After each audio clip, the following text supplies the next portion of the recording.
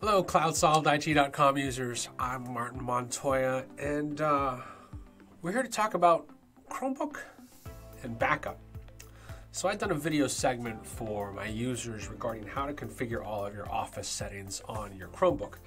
And it's not the most time consuming process in the world, but you know, it can take you 20 to 30 minutes to go in, get all the apps, download them, sign into everything, and get everything working just the way you want it.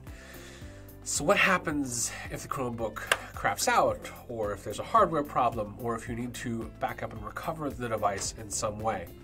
The, uh, the focus of this video tutorial today is going to be Chromebook backup.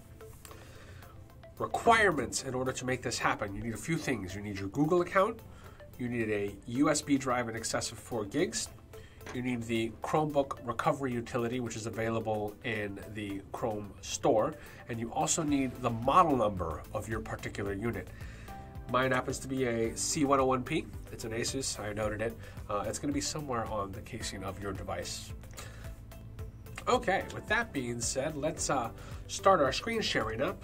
Let me start my AirParrot app here so you can see what I'm doing on the Chromebook.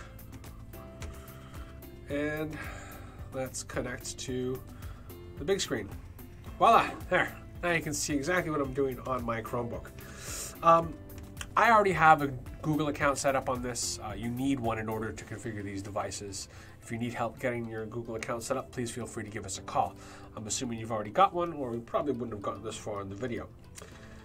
With that, I'm going to start by opening up Chrome. And I found the easiest way to find this utility is Chromebook recovery. There you go, recovery utility. It's going to bring us to the App Store.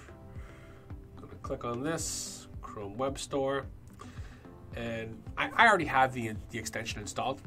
Uh, normally, you're going to see a Get app in the top right corner. Since I've already gotten it, I'm just going to go with Launch app. To get started with the uh, utility setup, let's get our handy dandy USB drive. It's going to tell you right there. It says you need four gigabytes or larger USB flash drive or SD card that you don't mind erasing. Important. If you plug this into this device and we set this up, it will wipe out the contents of the thumb drive or SD card because it has slots for both. I'm going to get started by putting this thumb drive in here because that's what I'm going to use. And I'm going to click the Get Started link here. Now it wants us to identify the Chromebook. This is where your model number comes in handy. Uh, I've already tried to search for my model number. It actually doesn't show up. Sometimes it's easier to just say select model from list. With that, I can select a manufacturer. So this is an Asus, and I can select a product. I know that it's a C101PA flip. So I'll grab that. So I've got Asus model number, thumb drive. I'm going to hit the continue button here and it's going to ask me what I want to use. I actually have uh, an SD card in here because I was doing some video shoots, but we're going to skip on that. I'm going to grab the InnoStore 16 gig thumb drive because that's what I got in there, and let's hit continue. Create recovery image, create now. So it's actually erasing the contents of this USB drive. It is downloading the recovery image for the Chromebook, and it is making a copy of my data.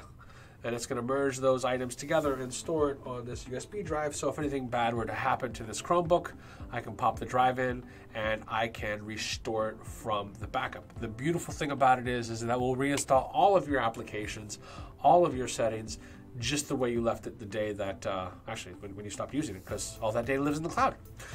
Um, this is probably going to take a few more minutes, and we don't need to sit here and watch it because I'm going to do a separate video segment on how to recover from the thumb drive, and I'm also going to do another video segment on how to power wash your Chromebook, i.e., it's a uh, handy dandy way to wipe out everything that is on it so you can hand it off to another user in your organization or perhaps even a family member. So, not too bad of a process to recap. You need that Google account, you need a thumb drive greater than 4 gigs, you need the Chromebook recovery utility, and you need your Chromebook Chrome, Chromebook model number. Uh, and with those four pieces of information and uh, software, you'll be able to get your Chromebook backed up to a thumb drive or an SD card in no time flat. I want to thank you all for taking the time to watch this Chromebook backup utility video. My name is Martin Montoya and I'm with CloudSolved IT. Please like, follow, or even leave a comment below telling us what kinds of videos you want us to make for you to use in the cloud. Again, I'm Martin Montoya with CloudSolvedIT.com, serverless solutions that work